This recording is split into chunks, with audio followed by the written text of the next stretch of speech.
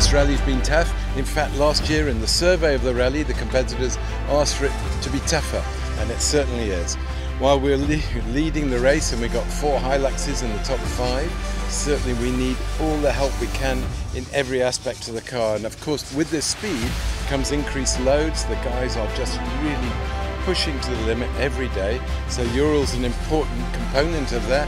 We use their oils, lubricants, greases in many areas of the car which are experiencing, believe me, the biggest forces they've ever seen this year. So uh, we're dependent on our technology partners and certainly Eurol delivering for us.